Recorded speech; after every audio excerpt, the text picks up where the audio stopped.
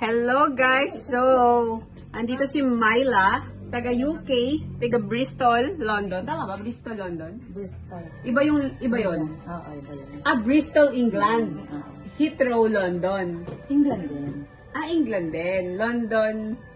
Yung pinaka... So, iba ang London, iba ang Bristol. Magkaibang city na siya. Oh, okay. Pero para may tour din kami. Ano mo magandang puntahan doon sa Bristol? Ah, Stonehenge. Ayun! Yeah, yeah, yeah! I heard nga!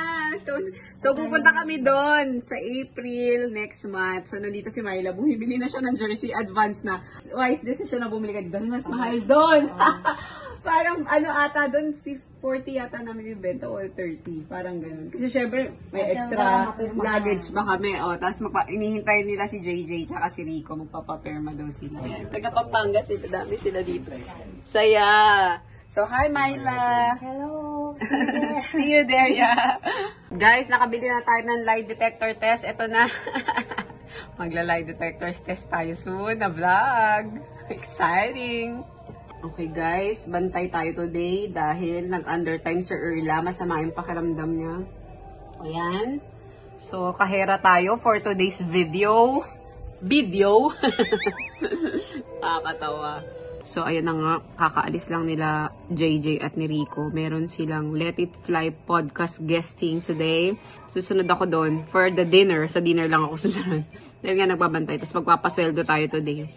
Mag-uuna, ano yun, yung bagong restaurant nila Sol Mercado in Shangri-La the Fort. Oh, hintayin nyo po. Ayan, padating na siya. Susunduin niya itong dalawa. Si Rico po. Pababain ko saglit. Ayan po, friend. Yung nanay ko nga 95, sabi ko yun kayo. 95? Wow!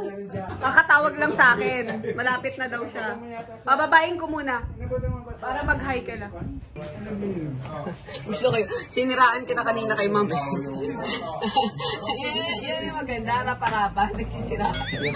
Inaamin yung kasalanan. Inaamin yung kasalanan. sa mga Siyempre, namatay nga, di ba? Parang di naman, hindi naman tinago yun. eh. Talagang may, talagang may... Sinabi yun. Oo, nireport talaga. Oo. Um, um, Ano yan? Bakit may pera ka dyan?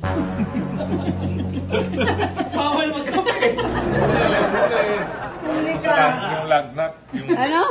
yung lagnat. 5K lang allowance. 5K lang allowance niya, amante. Bawal na bawak ng pera. Wala, ba't ang dami nito nag-iipon?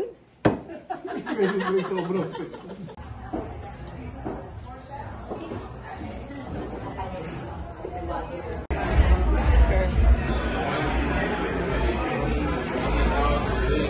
is so.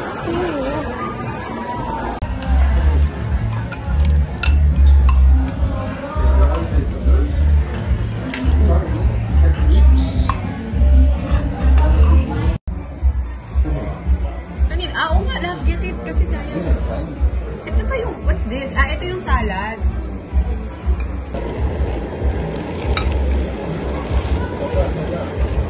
Portion. This is A5 Wagyu, and then they put The truffle and truffle on top. Wow. That's truffle. That's the Wagyu? This is truffle. Yeah, that's Wagyu, and then this is truffle that's just put on top of it. Man. Gotta try that. Try it. Try it. It's hot.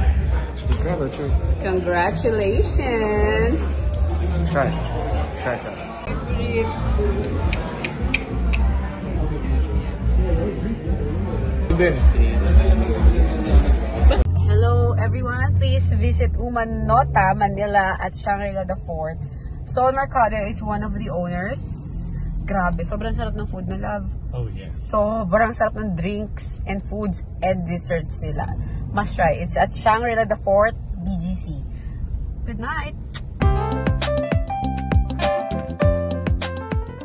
Hi, so guest nila ngayon si Justin Melton dito sa HQ. You know what? Oh. My bleeding is my nose. You're leaving, right? Yeah, I'm Okay. biggest, biggest English tayo. Jer- Jerwin is um is leaving. German feels sick. German feels sick.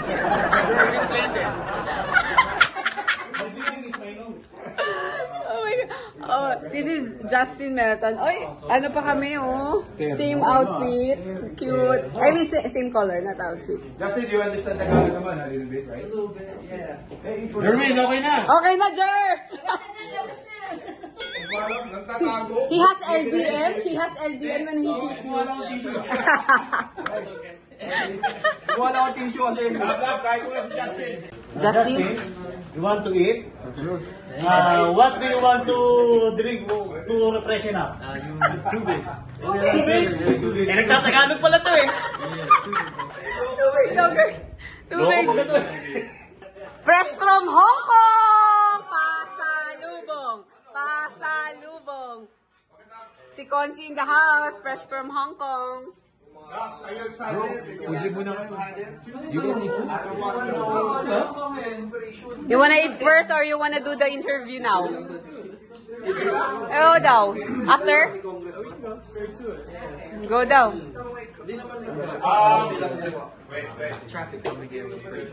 Are you sure you're not hungry? Okay. How about drink? Yeah, go ahead. Saan ka galing? Kakarating mo lang? Kakarating mo lang? May gumaganon. Huwag may gumaganon. So ngayon, dahil wala pa, bibili pa lang tayo sa Lazada. Ito muna yan. Okay. Hindi, sariwa na gagawa niyan. Oo, Sariwa, sariwa, sariwa. Sariwa, ikaw na yan. Gamitin mo yan, oh. Yun, oh. Pag ganyan, ganyan, ganyan. Lights! Camera! Action! Sakuragi is in the house. Andun yung sweat, pero nalobat ako. Ah, mag, mag, ano kayo, parang, mahan. So guys, ayun na nga. Small laude. So guys, um, maliligo muna ako kasi, oh, kumain ka na dun. Si Kuya Tash. Maliligo muna ako kasi pupunta kami sa Fin and Claw. Susuportahan namin si Mac Mac, si Boss Monching sa kanilang event tonight. Pagtas ng vlog nila. Yan, nag-umpisa na silang mag-guest-guest. Ayan na sila. May CCTV kami. Yun sila, sila, sila. Ang dami nila dun pala, oh. Punong-puno kami dito sa HQ ngayon. At, magsasara na yung shop. Isasara ko na yung shop. So, nag-uumpisa na kami mag-guest-guest ng mga ni-interview dito sa podcast. So, abangan nyo yan, guys. May mga guest na yung PBA Moto Club. It's gonna be fun. It's gonna be, it's gonna be, ito yung motor ng ko na exciting. Mga personal questions at mga plugging ng kanilang mga business yung gagawin nila. Saya, ba? Nakakatuwa. Yan. Okay. So, ano pa ba? Wala na. That's it for today. And I hope you like my video. Thank you again to Ayumi Eyelashes and to Skin by Lidisha for my hugis bigas face. Charus! of course, I want to thank Alina Invisible Braces. Straight na yung teeth ko dahil kay Alina because of my aligners. Okay, so thank you for watching and God bless you all. Please all stay positive and always stay happy and always stay amazing. Love you guys. God bless.